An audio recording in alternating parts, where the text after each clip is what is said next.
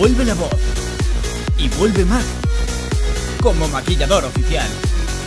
En esta edición, los talents brillarán más que nunca gracias a Mac.